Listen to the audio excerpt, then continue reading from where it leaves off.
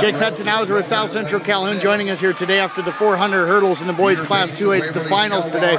Jake, uh, great run out of you today, a third place finish overall. Pretty pleased with that? Or yeah, I was I was hoping for a little bit better, but came in with that that spot and ended up getting the same thing. I would have liked a little better, but I'll take it. How was your time today compared to what you've done all year? Um, second better. I ran a 54.48, I think, and my best overall was a 54.7 last year, and so I beat my other times for my wins. Did you feel like you got off to a good start today? Yeah, I felt good to the first two, and then I went two and a half and kind of idled back a little bit, and then went the last two, but it wasn't quite enough to get the Sioux Center kid. Looked strong coming across the, the, that final curve down here. How were you feeling at that point? I felt good at that point. It was mainly over the second to last hurdle that I really felt myself tighten up a little bit.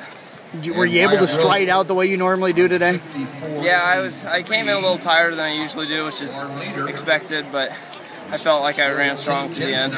What's it like being down here again? I know I've asked you before, but now you got the 400s, probably the race you, you, you don't enjoy the most. Uh, how is it to have that one in the books? Oh, it's.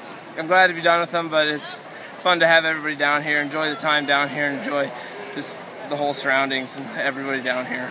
Got any messages for any young kids out there that might be looking to run track in the future? Um, do it. It's, you can play golf any time in your life. You can't run track. It's definitely worth it in the long run. If just playing other sports and stuff will keep you in shape. Well, Jake, I appreciate you joining us. Great job today. Thank you.